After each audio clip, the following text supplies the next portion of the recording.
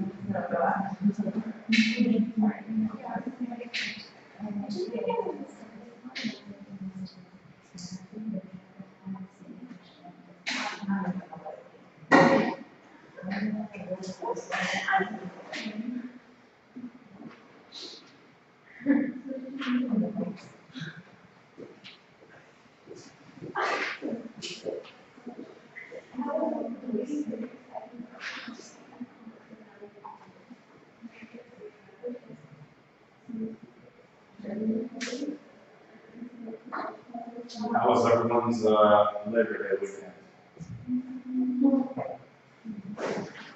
exciting? Uh, you guys work on that? Uh,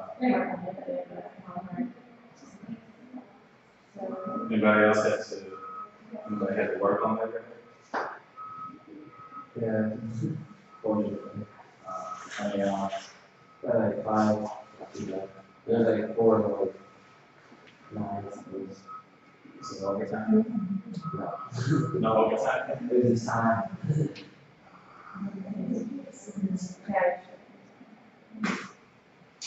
Um, Thursday, we're gonna have, uh, Benjamin Wilk come in. Benjamin is a partner with the Tiberius International. And he's gonna come talk about cross-cultural leadership. He's worked for the FBI ten years, I believe. State Department. Um, I think he did some work on Air Force One when Hillary Clinton was Secretary of State. He's did like special ops work in Libya, Tunisia, Algeria, Afghanistan, and all that stuff. So he's gonna come in and talk at the end of Thursday about leadership, um, cross-cultural of stuff. You'll be able to ask him any question, he's really interested in what he's tonight. Um, we will start as always, in groups, right?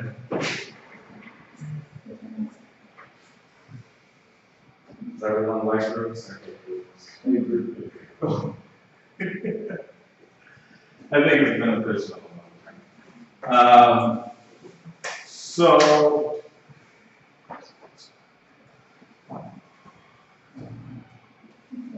So just get into three groups, maybe even four three groups, four people, there'd probably be one extra. So, so one people at a time. And uh, I want you guys to answer these questions as.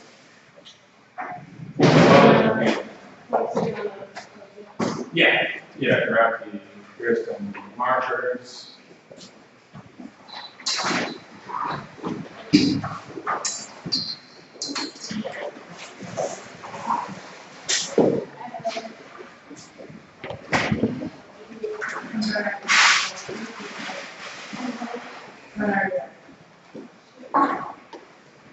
So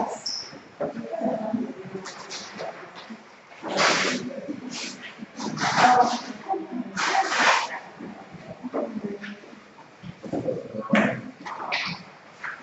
purpose of this is to understand what to see if you guys have a real grasp on how you perceive your role as a leader, in your job, if you're not working, a leader in your personal life, amongst your peers, family, etc. What is that role? Um, second question is how complex is that role? Do you think it's complex? Do you think it's uh, third question, what are some of the challenges you face? What are some of the obstacles you face in that role as a manager, as a leader, or even as an employee? What's your job description? Last but not least, what makes you different from others in your role? What makes you different from other employees at your job? What sets you apart as a manager at your job? What sets you apart amongst your peers as a leader or in your sports? The things that nature. So answer these four questions as, as best as your ability. The role of these that people in that direction. Make sure everyone doing So it's really like specific of like what's your role? Yeah, yeah, you know, what is your role in the, well, you can be general manager, meaning that, what is your role in the company? And you can go some, listen, you can do both, yeah.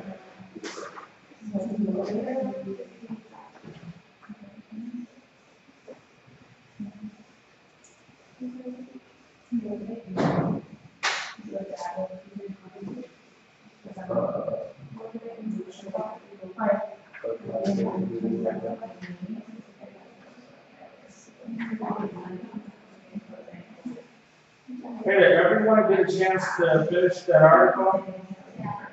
Yeah. Did anybody not finish the article? Okay. Um, we turned it in Thursday. Cool.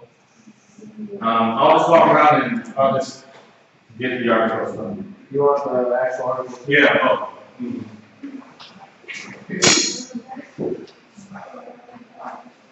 I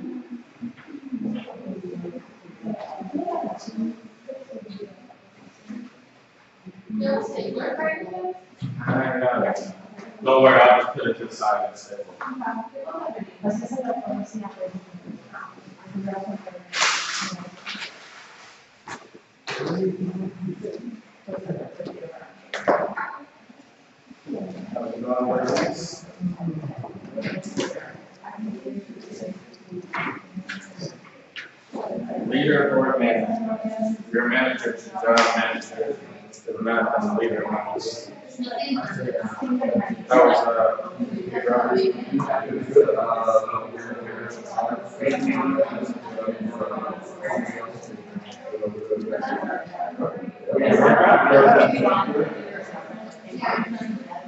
Yeah.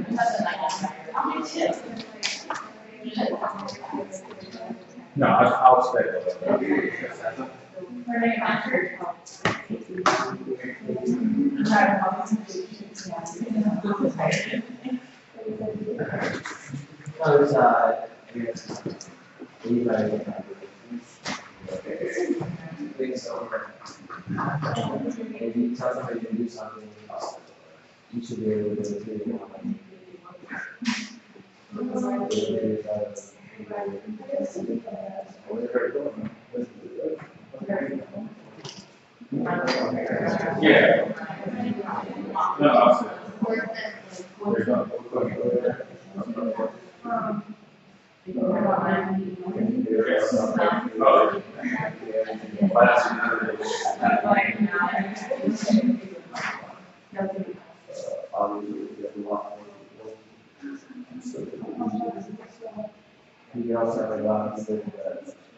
you go on the phone, they do you have like two or four that stay on their own, that is hard to control. Uh, Words and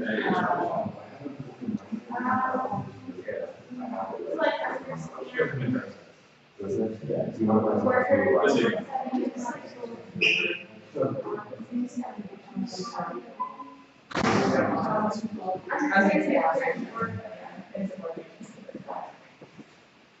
Hey, Vanessa. Vanessa, why'd you, uh, do this question? You work there?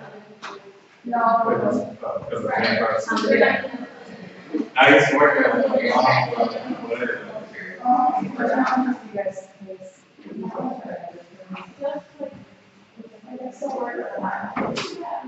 Hang on, I'll start before you. Yeah, we're starting.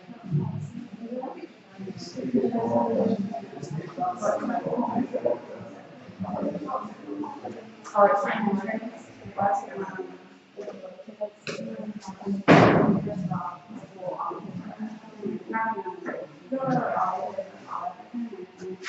Um, not only, but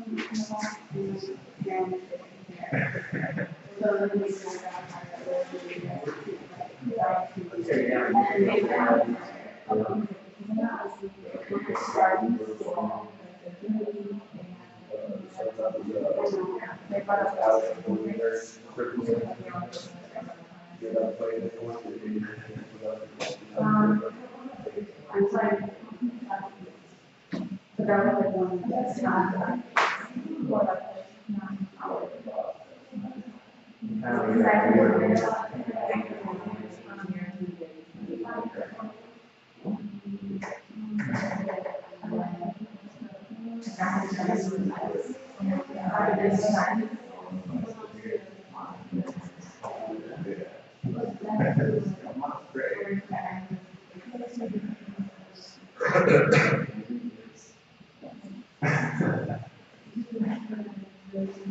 who here all went to Lane Tech again? I know, uh, you, four year. But, okay. You said, uh, who's the people teacher? Um, um, has, I don't know, professional, um, yeah, and we know about it. That, I don't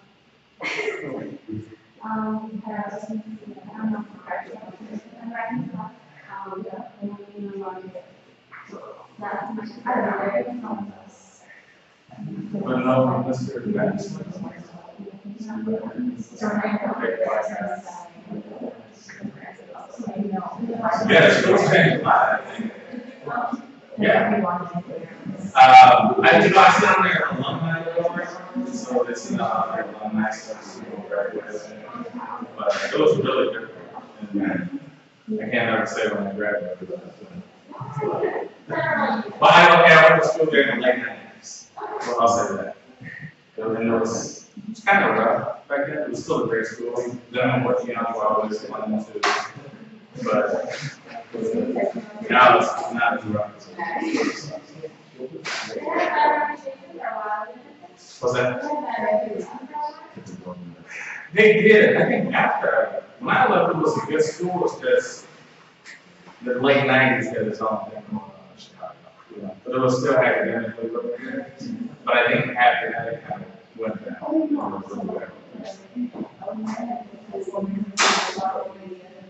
I think, um, you guys are uh, the boy picture there, you know? The governor who went to jail.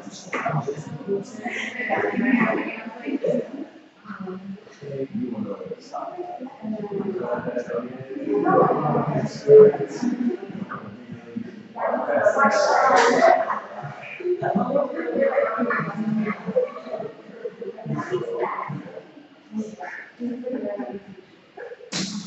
Um, let me know when everyone's done.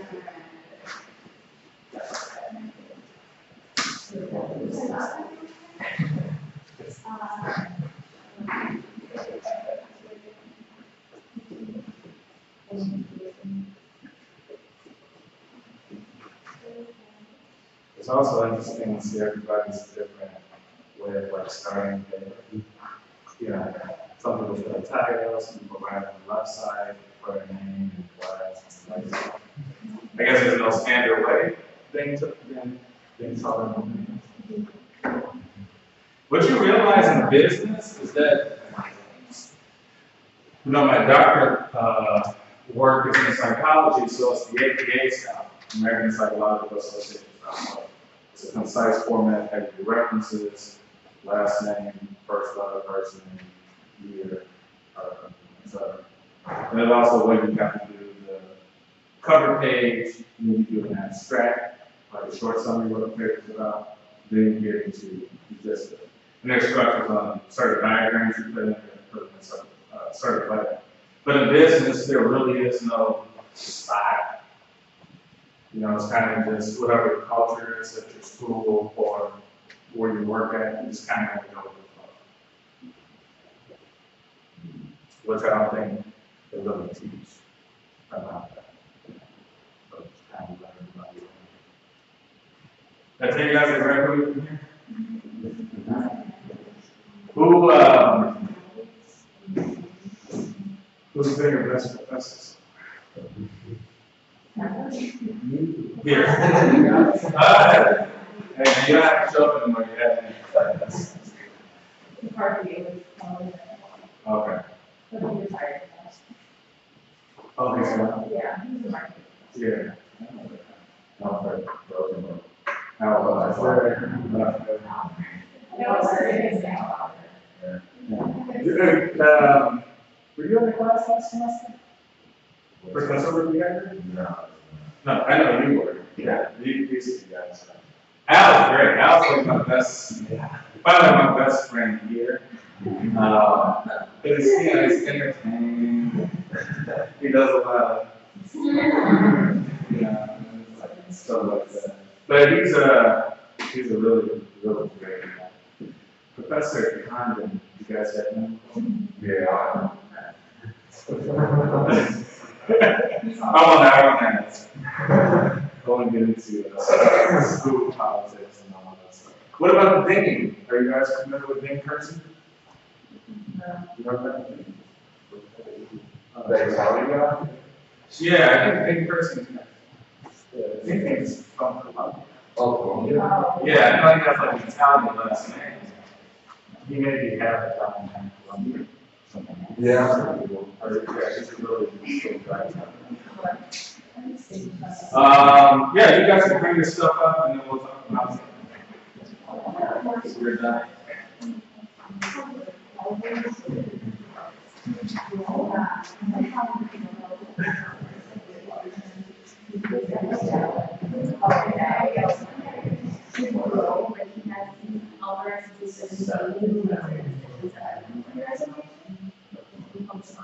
I love it.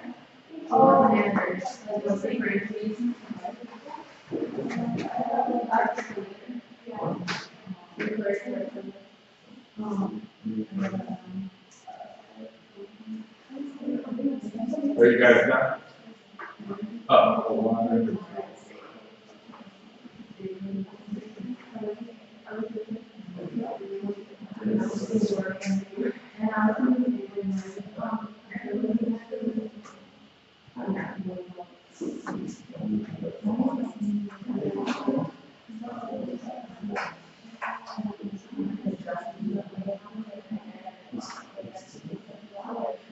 Hey, how much was the textbook, by the way?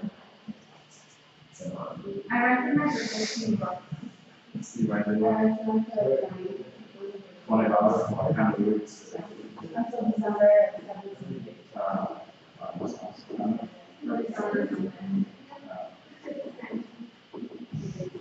I remember when I used. I don't know if I can say. Because honestly, my, here's my philosophy, like, okay, you're studying what business, business is either how to save money or how to make money. So even as a student, you should always be thinking like, that I not be getting economic instead was this optimal system? So I used to, I was always buying a PDF. I would always find a PDF version of the book. You got stuff? Actually, no, no, they gave me, you know, as a professor, they, they give you the instruction. So I didn't even look up.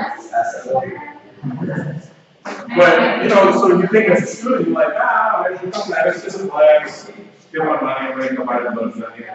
Then you think like, now I'm in business, so obviously I use the skills that I have to, to maneuver around and get the benefit. And I, I try to apply that in everything.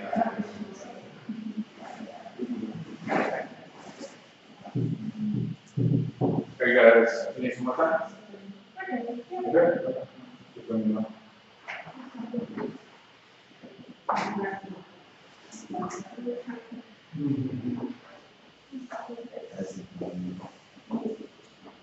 So as a side note, you guys, so the class international management, you're like, all right, what's, you know, like, what exactly does that mean? It's an international business where you're just studying how firms are created, how they operate.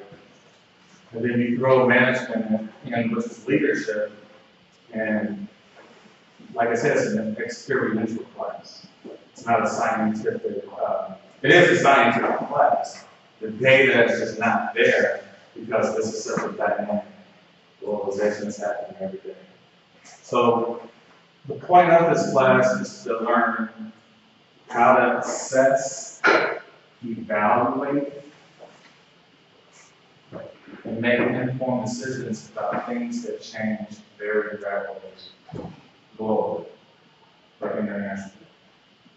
I work on multinational. So in essence, that is what the class is about. Uh, this class actually is, I think this is the first time I've ever it. This is the first international management class they've ever had at school. I think a lot of the classes didn't want to. Because it's extra, you know, so it's kind of complex in conveying all the different parts that go into how do I be a global leader, how am I be a global manager, how do I, you know, work in two hundred and seventy-eight countries in the world, how do I pick things that, so.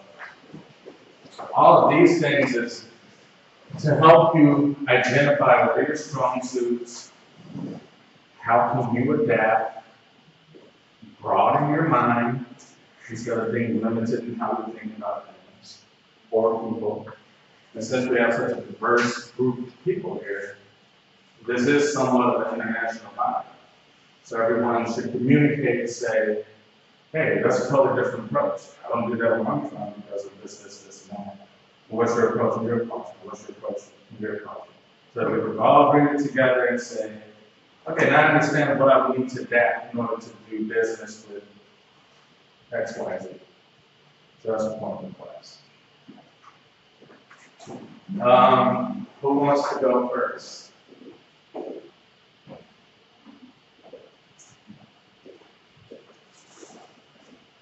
Um, so we said that a role as a leader would be to provide the example, to motivate and emphasize. Um, would be to provide the tools for them to be efficient, to understand the different work styles, and to, um, know how to solve different problems and ready for everyone. Um, and then leaders have to take on different roles, so we can wear different hats, whatever you need to get done, so you have to do it. And then some challenges are the approach in which you manage, so if you want to be a friendly leader, or if you want to be authoritative, and you want to have everyone respect you. And then just managing different personalities and learning how different people work. And then, uh, what makes us different is that we address these limitations. Okay, so everybody is adapting.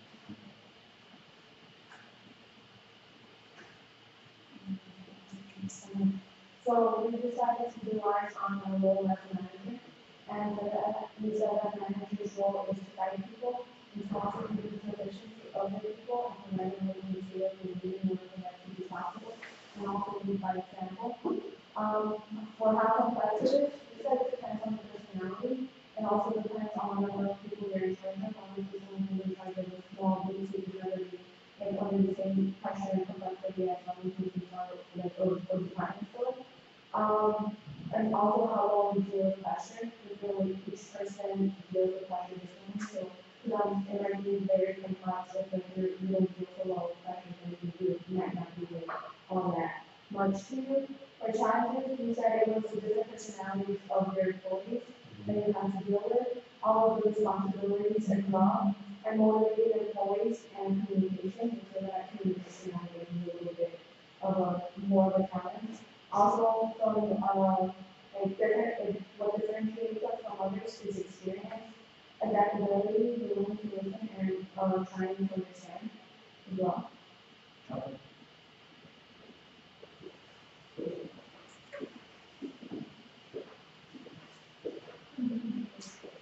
Um, so besides of the roles that the leader and manager are oversee operations and personnel, certified other responsibilities goals and tasks, making sure and accomplishing things. Also, we have people in to teams like manage their time, and like staff, people and stuff that as well. To inspire and influence those around you by being high example.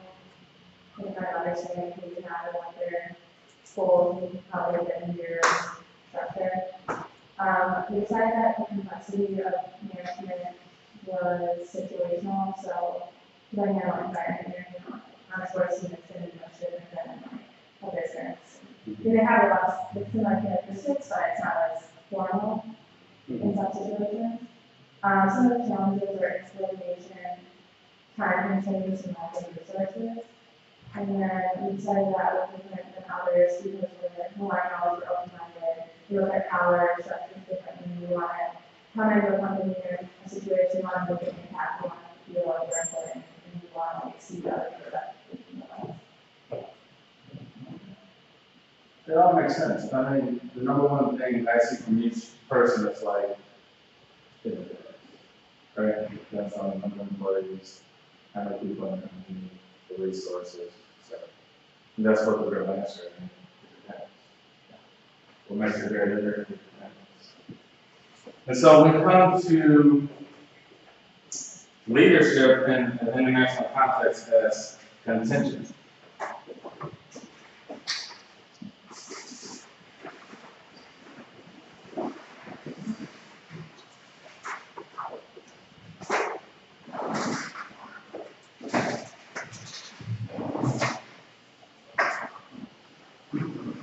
I had that about part of this. Yes, but-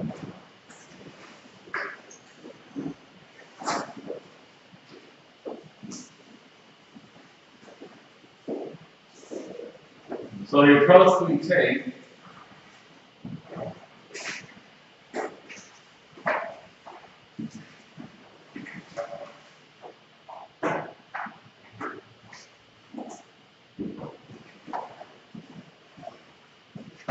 is a contingent.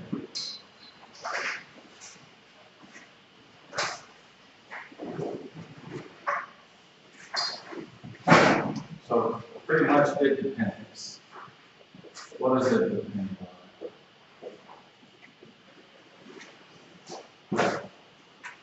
Guys some things like resources.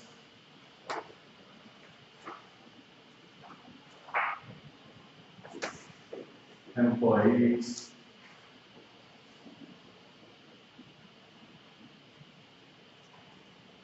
That's another name for employees?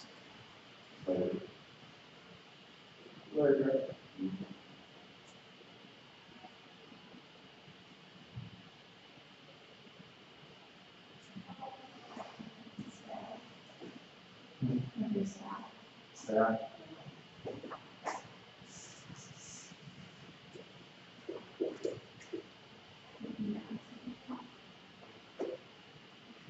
How about, well, from a managerial perspective, top tier, managing facilities, corporations, etc. It's kind of hard to say, but it really is, it's human capital.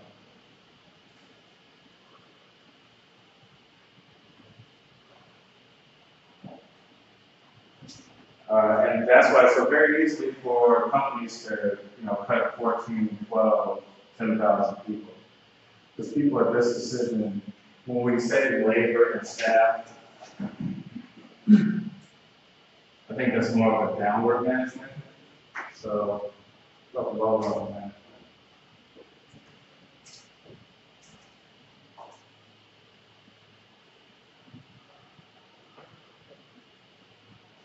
These people are just pretty much numbers. And that's really how they have to be viewed in that context. Second, uh, what were some of the other things we said were contingent? Things like motivation,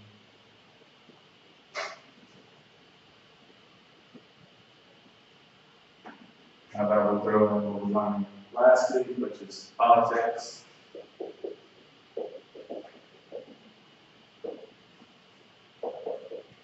Technology. Legal.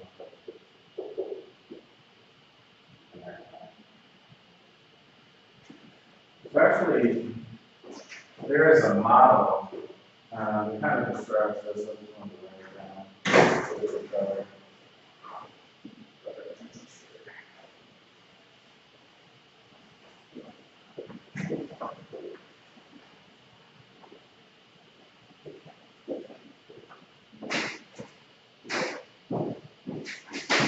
We'll call this the SAC model. Professor Lawson.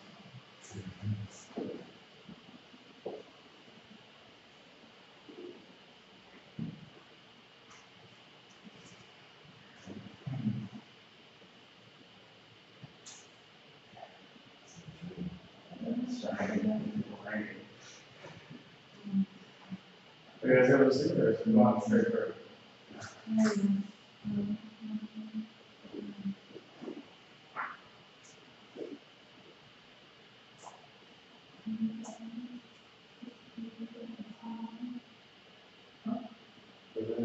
Anyone have this? I you can do it. Like the digger with an. What's that? Use like that secret digger with an. You'll reduce it. Are you putting the transparent?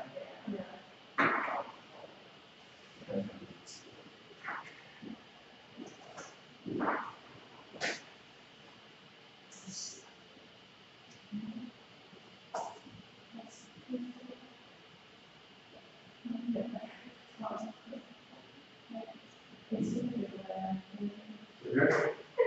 Great.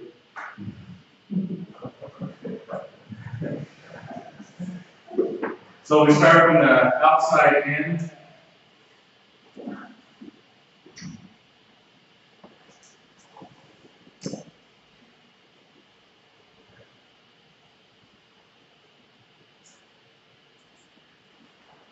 So if you're working as an international manager of operations in Europe, what is the first thing you need to evaluate your skills? You say, I want to start a business in Europe. Confidence? Actually, how about this environment? Do Actually, you mean like, do you mean like legal environment? yeah, but I mean, And confidence. geography of it, like where we located. Yeah, I mean, that, yep. Yeah, think big. Well, say there's sophisticated clients, you you need to update like a full record product, so. Okay. I think that would go more, okay, so think in terms of this. You have three facets, which is the global. You have to look at that before you look at the regional. You look at the regional, which would be the country that you're working in. And then you'll look at the local, which is actually your company and how you structure So from here, on a global scale, we're gonna look at, let's just say trends in Europe. Is this one up? You guys able to see? Oh, barely.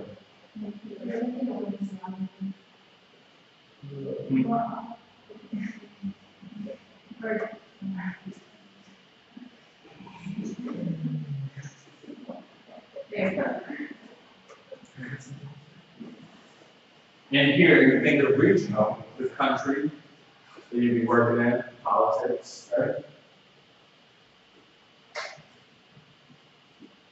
Like you said, socioeconomic. To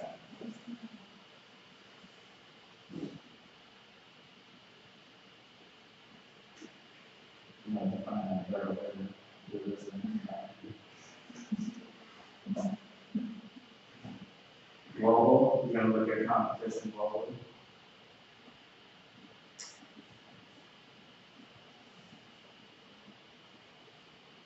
Regional, you're gonna look at tech. What's the technology like in the country, how's the infrastructure for it?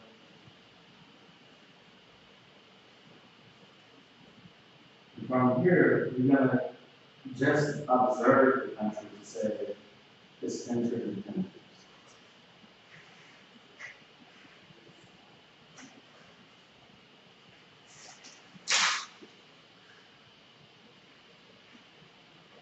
Basically, what are, how restricted is this?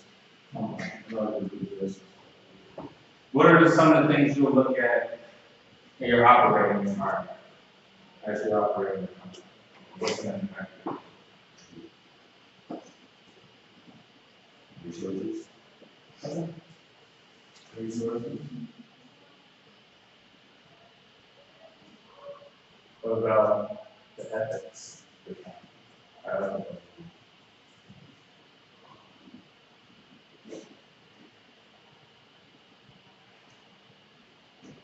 Culture, I guess, agriculture. Agriculture overlaps because it comes here too. I wouldn't say that the, the world has a culture is very. You see as far as um,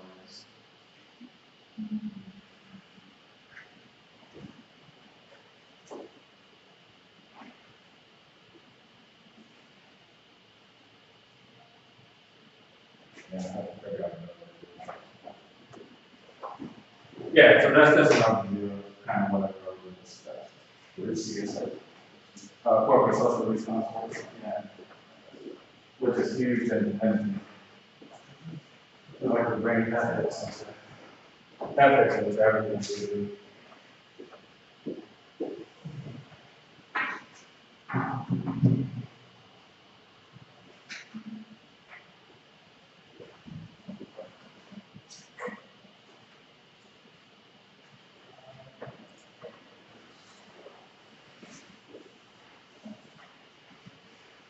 So in looking at some of the, at some of the environments that exist around the world, we see that people are starting to create alliances. Countries are starting to create alliances. What would be the reason that countries would want to create alliances amongst each other? Hmm.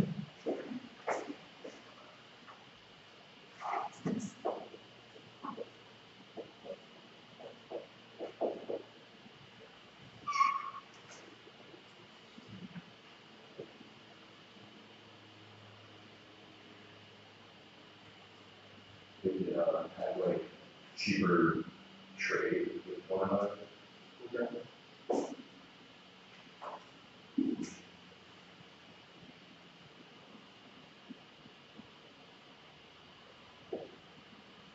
Well,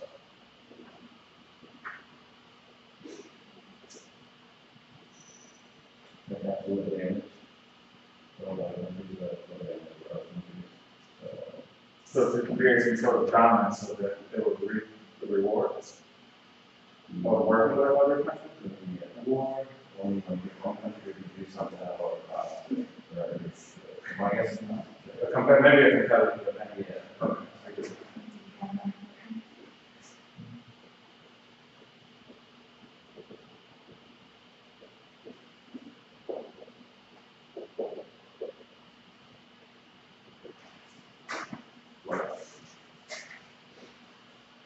Yes, sir. uh. War, yeah. Like a alliance with, uh, Russia, maybe we're gonna win. So, this war, I think Good that affects business. business. Don't you think, war affects business? uh, do you want to know that thing? Guns, weapons.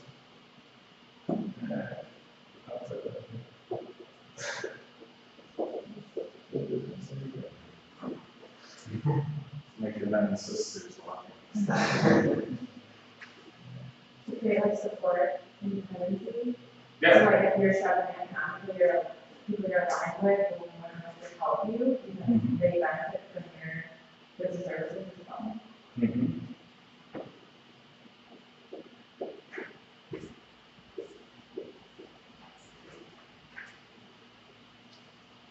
Anyone? How about jobs? You create more jobs for people in your, in your country.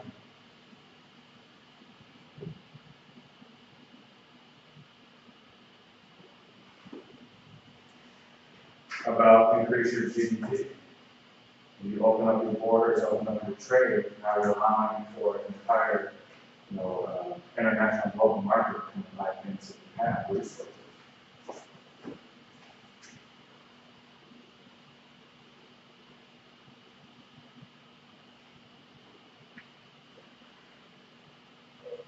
Can we identify any alliances that we see around the world today that exist? NATO?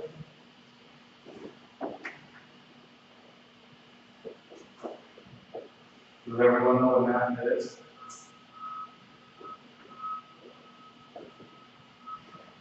Yes. Anybody don't know what NAFTA is? Do we know the countries involved in that? It's like, uh, US, Canada,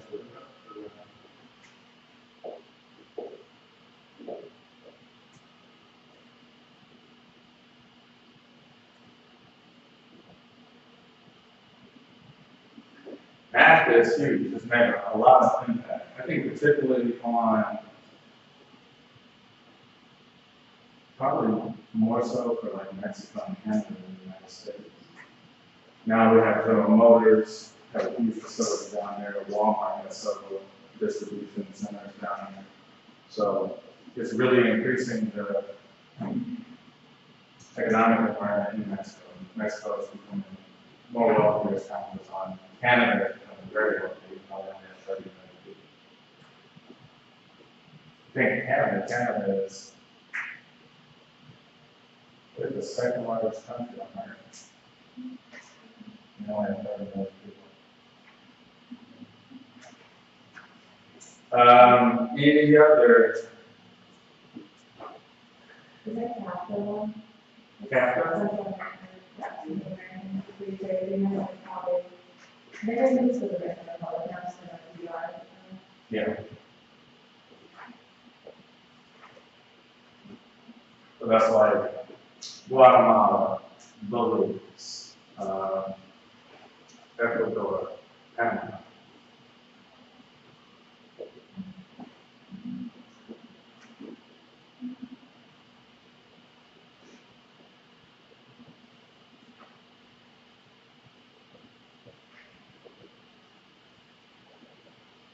What other alliances that we? The EU, the European Union.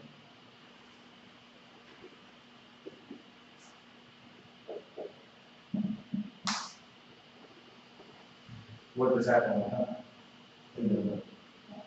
Very, very, uh, exit. Very, very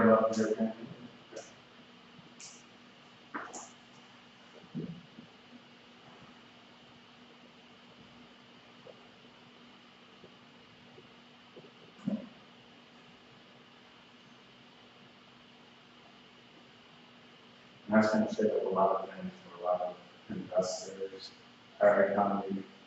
Uh, It's gonna be interesting to see what happens. I don't know how it's gonna work out, but I'm really sure. Have you ever heard of the, the Navy? The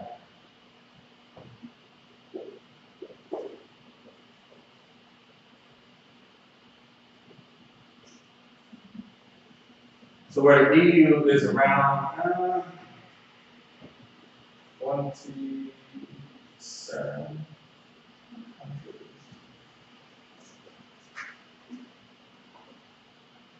The AU is about fifty-three.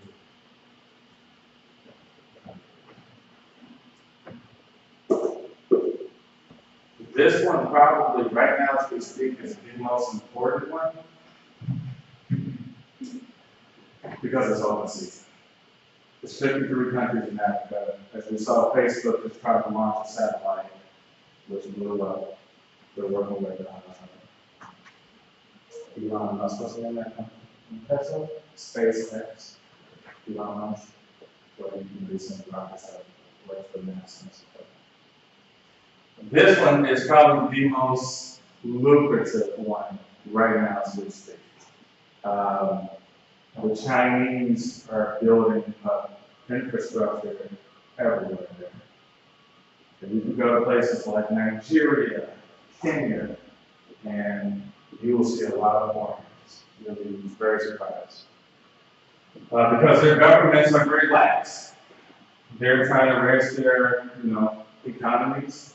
And now that everyone, the borders have opened up with things like the AU, a lot of people see a lot of opportunities to come there and start businesses. Uh, There's a lot of money to be made there. So Africa is not the same continent in our heads that we think it is, where it's just savannas and, you know, wilderness and forest. Africa is it's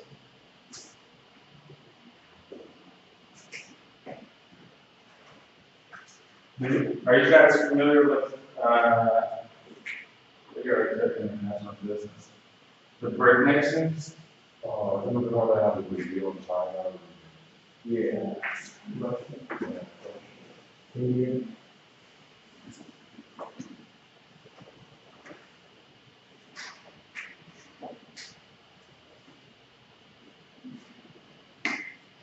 So BRIC is, Brazil, Russia, India, China.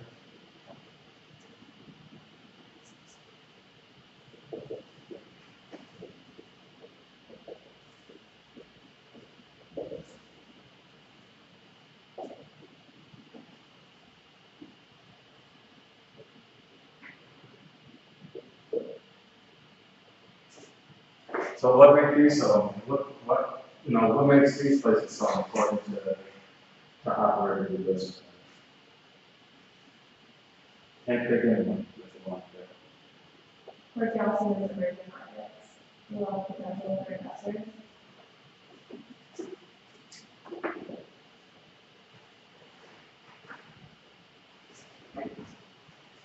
Why do you think they're emerging?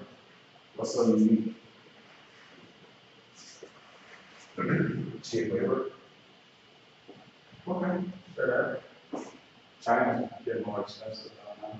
I don't know how long uh, iPhone's been invented. So, okay, we can say cheap labor. In general sense, I mean, these are not, yeah, these are still very developed. countries. Where are they going?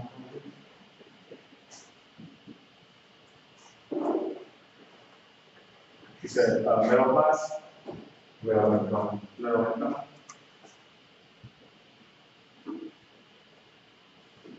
All right, how about I just come from Brazil? Is there anything that you can about Brazil? This is about the fact that they all have kind of like a coastline, so that makes it easier to import and export stuff. Yeah, let's support it. Those geography, right? What's the language they speak in Brazil? Portuguese. What's that? Portuguese. And what else?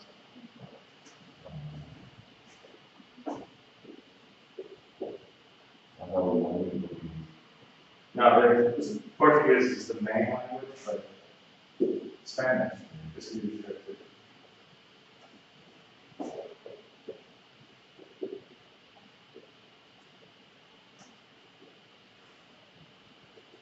We're talking. Maybe the fact that's the largest country in South America.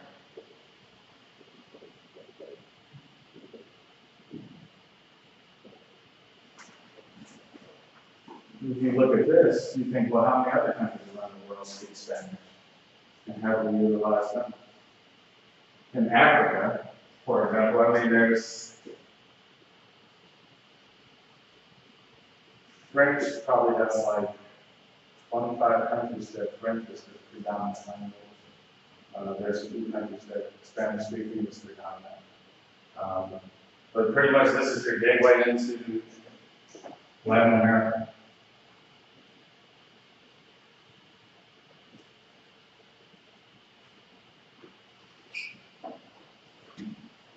What about India?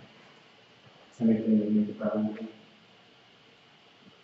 Population, Which is, what? like what, two billion?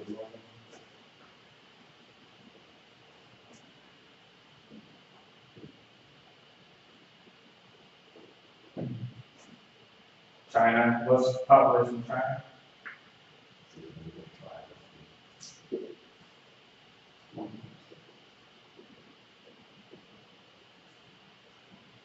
And this goes back into what we talked about earlier.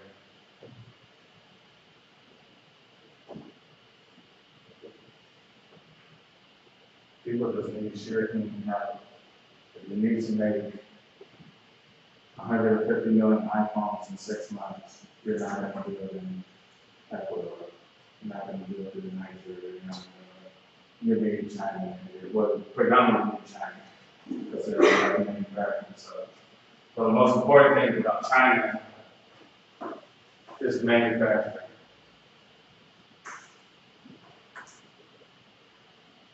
India.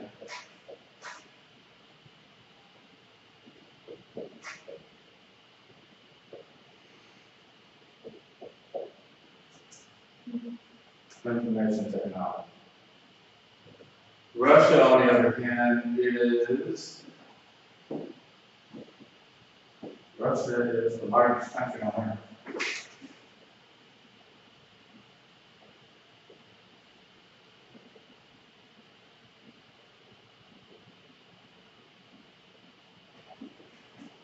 And also one of the most educated.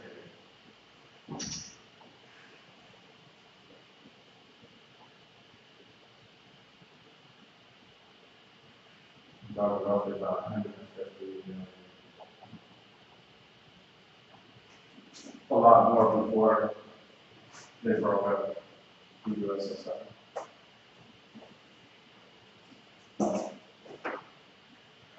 So that's really just a snapshot of the main markets we'll be focusing on, the EU, the AU, the BRIC countries.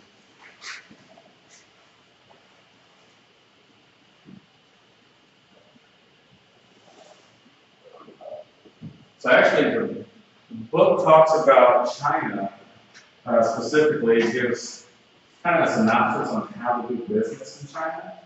I guess you kind of like ten key elements of what would be important to do business with China. Uh, I could write some of those down, but I'm just thinking,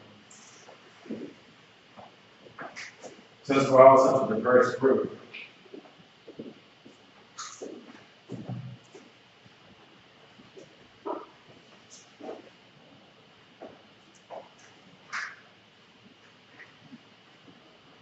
what are some important factors?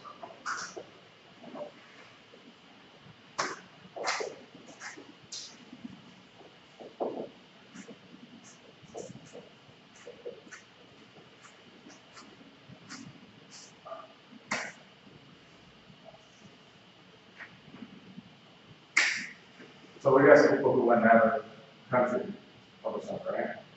Last semester. Okay. And you guys, um, student visa, right? Who else went out of the country this summer? Spain, Morocco, Guatemala, Cameroon? I say right on London last semester, the few semesters ago. Where? London, Oh, London? And has anybody else lived in another country for a long time? In Mexico? What part? Granada, Michoacán, Tamaulipas? Um, Hmm? the little, Guerrero, and South. All right, so. Let's just say important facts of doing business. What you to this country, and what do you think is some important factors in order to do business in this country? Who wants to start? Who's to begin?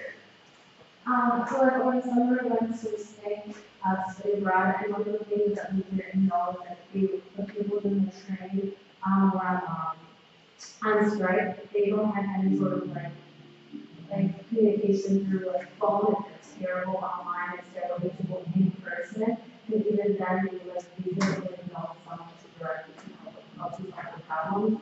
So we have a train that's in a very supply at home, mm-hmm. what they want to write, so we didn't know our train was gonna leave, what train was gonna leave on, but they didn't tell us anything. So our, the practice was to go in person, then like sit out at the train station, try to figure out what was going to go on. And it's like, we tried calling, we tried figuring out, and there was no sort of communication had to to face. So it had to be facing. It had to be. Any other like electronic media or something? Okay. So Spain. Face to face.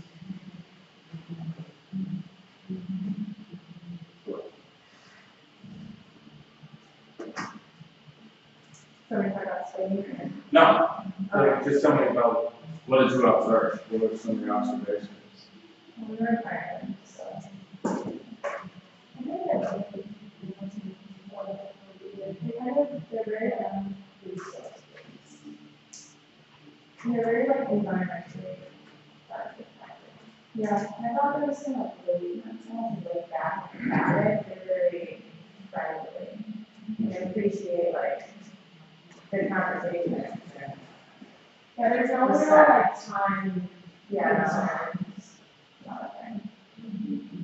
Uh, okay, so relax, um, maybe non-aggressive, like in your business approach, you know? Yeah. You do it casual, you wouldn't do it like you're trying to sell something. Yeah, it's like super. They're very hospitable.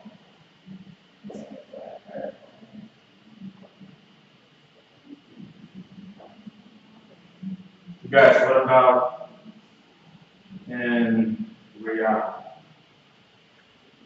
What is important in order to do business?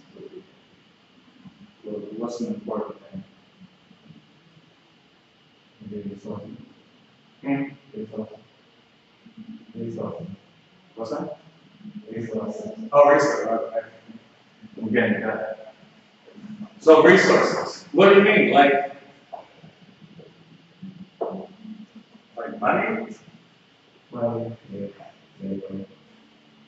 Is it hard to get people to give you for businesses?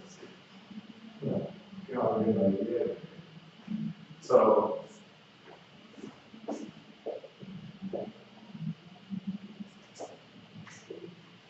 So you have a good idea and you have a good strategy, they might give you money for operations. There, okay. Yeah, well, it's something like this, like, really, like, they, um, they really like, you know, the things that people need, like, you know, if you have a business, you know, provide services or like that people need. That would be good, but people really like new stuff, you know, so like, you know, if you like open a sushi restaurant, for example, so they will be really giving people who really never ate sushi before, Okay, you know. so they, they like new, mm-hmm. new.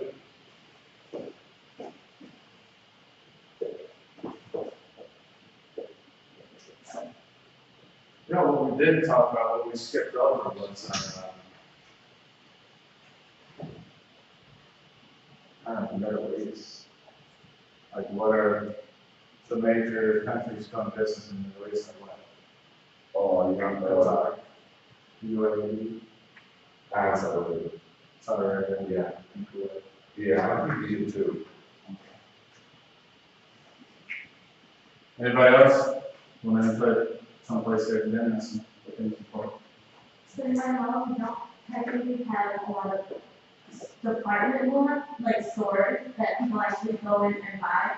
So Where? In one mall. Bottom line. So the, unless you live in the capital, you're probably not gonna find a mall. Um, the closest mall to where we're from is like half an hour away, and that's still the longest drive ever. Um, but what they do is they do a lot of Instagram selling. So they create their, uh, accounts through Instagram and Facebook, and that's how they sell all their products. Whether it's like a catalog, or it's like actual clothes that they'll send, they'll buy from someone and then they'll resell them. So is it like infrastructure is the problem or transportation? Like, do they not have the roads, or is it too many hills and mountains? They don't have proper roads? I think it's a little bit of both, not a lot of people have credit cards either. So when you buy something from someone online, what you do is you go and you direct deposit something from the, um, from your bank. So they'll give your, your account number out. But, um, it's not really, the roads have a lot to do with it, but no one has like an ad, specific address either. So I guess it's a little bit more hectic that.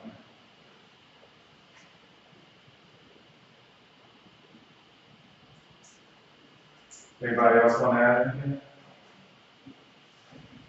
Um, in Morocco, they're very like aggressive, but you also have to, it's a lot of marketing, like back and forth, and it's like, people just about anything, except for food. You said Morocco? Yeah, Okay. so it's aggressive, but it's a lot of marketing.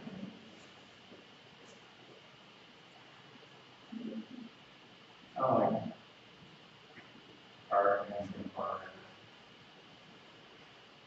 Art and art. Artists. Italy is. What's that? That's how Italy is too. It's, they're like very, it's not people are very like, you know. Open for negotiation, Yeah. everything. Mm-hmm.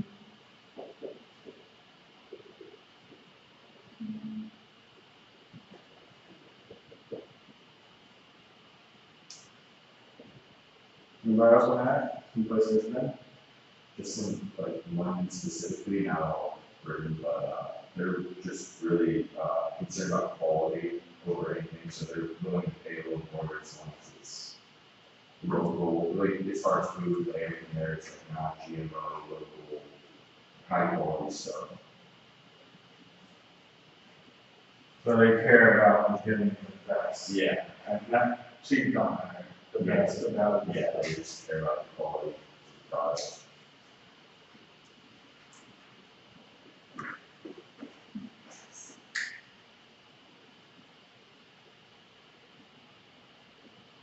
Is it because things are built locally or because, They have a lot of like local farms and they're, it's a very like green, uh, particular, but, um, yeah, I think it's just the culture too, like they kind of just, they, you know, they wanna have nice things.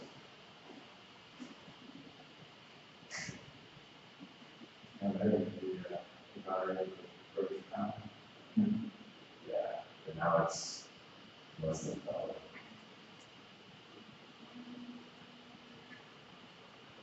They'll be that. It'll always be the town. I just want to add Italy. Yeah, Ireland as well. Mhm. Um, I think they're very into like family run businesses, like there's a lot of, um, weight put into, like, this is what my family did, so that's what I'm gonna do. Type of people, like, we need to shop online and things like that, it's, well, how long have you been doing this? It's like, well, my grandpa did it, my dad did it, so how you doing it, type of thing. Mm-hmm. The last names.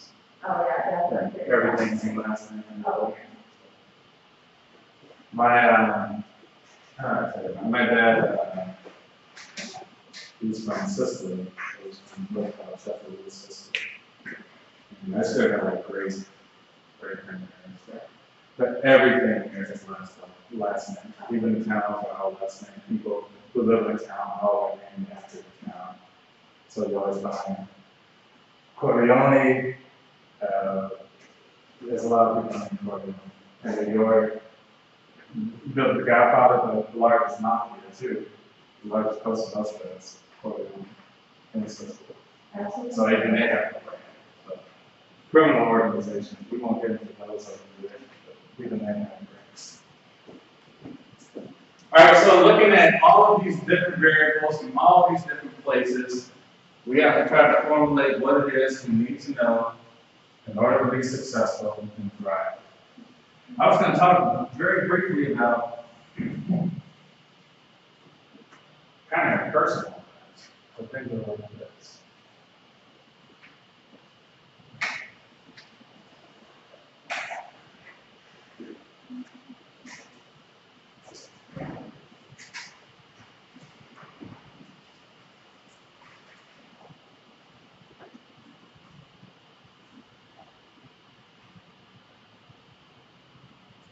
Of it here. Like, what is your motivation in your job? Is it to move up the corporate ladder? Is it just purely money? Is it something else? Where the most part is money? To be honest, yeah. Do you, for the people who work, do you like to make enough money? No? I don't know. I have to feel some sort of like, uh, respect for myself and my work, like. And right now, I don't really, I'm, I'm a butcher, so I don't really, like, I, I- I don't like telling people anything, I feel very like savage. But I honestly. You your job description? Yeah, that's So, you know, that's why I aspire to have a job where I don't feel it's very I can. I, I think the budget is very, we all eat. It has to start from somewhere, you know? And I think it was, a really great profession a long time ago. Um, now there's just so many different things, like people, people really look to technology. You know, if you work in, uh, digital marketing or something, that's what people kind of have to do. But old school things like a butcher, a bus driver, those things, people kind of like look down on now, because they're basically manual using, using your hands, and people think like, okay, using computers, and, uh, even lawyers, lawyers are kind of like, not a great profession. Versus- Versus the non-student law, and everything like that. Some of those guys, I know, just like public defenders, they make like twenty-five, thirty thousand dollars. You better take out two hundred, dollars. So. That's not how it's cracked up. So let's say the amount of money we hope to make more. But for some reason, it's like that over time. What are some of the factors that make us not get ahead at our job, so we're not gonna be- You don't enjoy it, you're not motivated to work hard. Alright, enjoy. I mean, no, we won't have to discuss kind of the general precepts of how we feel personally. Let's just say, let's keep that in mind.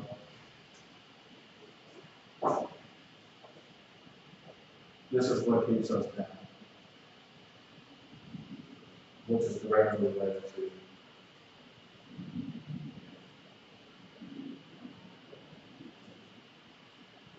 Cost of living.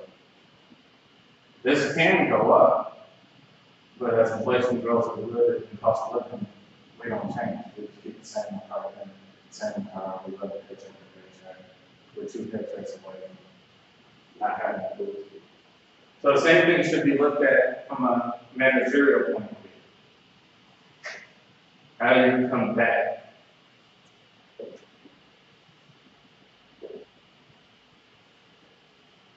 these forces?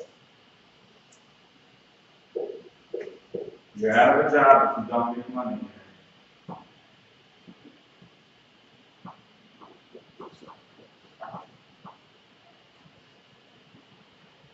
So what are some of the things we could throw in here to make us not increase our bottom line over time as a man?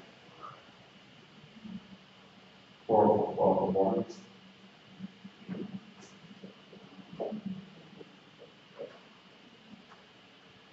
Think get larger, think, think global. I was thinking like cost management and reducing your costs.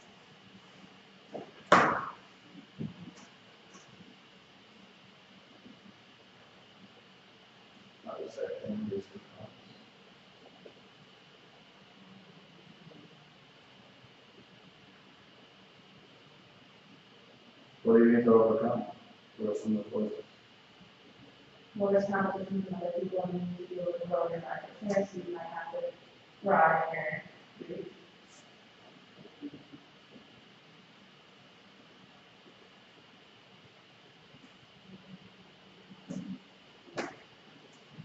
and do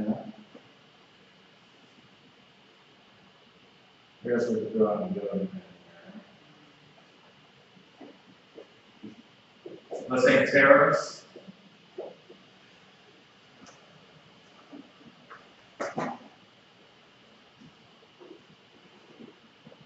Say regulations.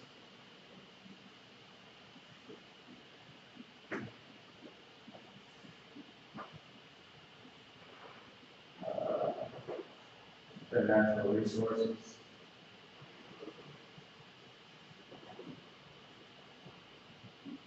Probably one of the biggest things is changing technology.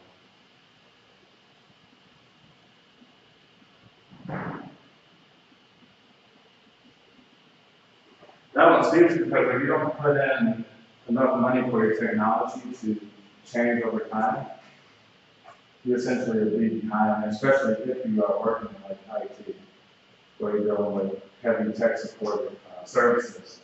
Uh, most of your money's gonna go on there, if you're not doing what you do to replace that stuff, alright, you are going to fail. I was gonna get into, uh, the other two forces of, uh, cultural dimensions that we started on the first day of class, but I don't think we have enough time. I will show a short video, uh, TED Talk, short one, film, uh, leadership. And then, I know in our syllabus, we talk about global updates on syllabus. So that one, just come, next class, just come with something that's going on in the world, and share it with the class, and we'll just, we can discuss it. Without, have our own thing. And then we'll have Benjamin here for like the last half hour of class. Mm-hmm.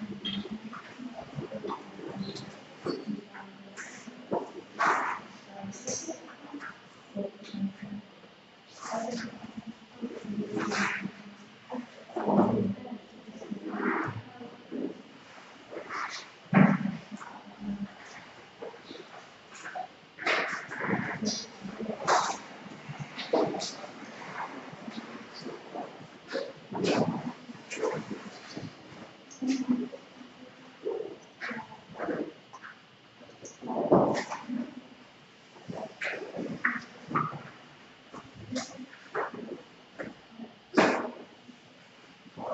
anybody ever had problems like embedding videos into the PowerPoint?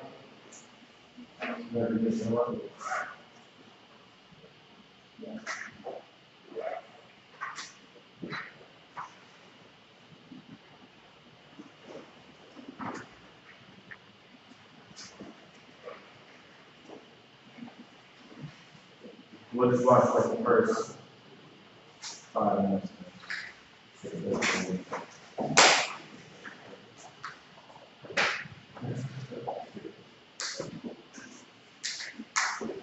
Let's suppose that you're rolling a really important mail to a colleague.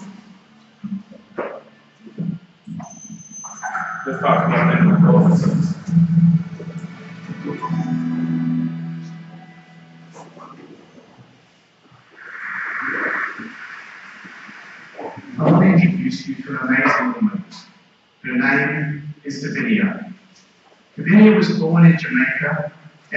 To the US at the age of 18, and now lives just outside of Washington, D.C. She's not a high-powered political staffer, nor a lobbyist. She'd probably tell you she's quite unremarkable, but she's having the most remarkable impact. What's incredible about Davinia is that she's willing to spend time every single week focused on people who are not her. People not in her neighborhood, her state, nor even in her country. People she'd likely never meet. Davinia's impact started a few years ago when she reached out to all of her friends on Facebook and asked them to donate their pennies so she could fund a girls' education. She wasn't expecting a huge response, but 700,000 pennies later, she's now sent over 120 girls to school. When we spoke last week, she told me she's become a little infamous at the local bank every time she rocks up with a shopping cart full of pennies. Now, Davinia is not alone. Far from it. She's part of a growing movement, and there's a name for people like Davinia global citizens. A global citizen is someone who self identifies first and foremost not as a member of a state, a tribe, or a nation, but as a member of the human race, and someone who's prepared to, thank you, and someone who's prepared to act on that belief to tackle our world's greatest challenges. Our work is focused on finding, supporting, and activating global citizens. They exist in every country and among every demographic. I want to make the case to you today that the world's future depends on global citizens. I'm convinced that if we have more global citizens active in our world, then every single one of the major challenges we face, from poverty, climate change, gender inequality, these issues become solvable. They are ultimately global issues, and they can ultimately only be solved by global citizens demanding global solutions from their leaders. Now, some people's immediate reaction to this idea is that either it's a bit utopian or even threatening. So I'd like to share with you a little of my story today, how I ended up here, how it connects with Davinia, and hopefully with you. Growing up in Melbourne, Australia, I was one of those seriously irritating little kids that never ever stopped asking why. You might have been one yourself. I used to ask my mum the most annoying questions. I'd ask her questions like, Mum, why can't I dress up and play with puppets all day? Why do you want fries with that? What is a shrimp? And why do we have to keep throwing them on the Barbie? And Mum, this haircut? Why? the worst haircut. As a, white kid, I thought I could change the world, and it was impossible to convince me otherwise. And when I was 12 and in my first year of high school, I started raising money for communities in the developing world. And we were a really enthusiastic group of kids, and we raised more money than any other school in Australia. And so I was awarded the chance to go to the Philippines to learn more. It was 1998. We were taken into a slum in the outskirts of Manila. It was there I became friends Sunny Boy, who lived on what was literally a pile of steaming garbage. Smoky Mountain was what they called it, but don't let the romance of that name fool you, because it was nothing more than a rancid landfill that kids like Sunny Boy spent hours rummaging through every single day to find something, anything of value. That night with Sunny Boy and his family changed my life forever, because when it came time to go to sleep, we simply lay down on this concrete slab the size of half my bedroom myself, Sunny Boy,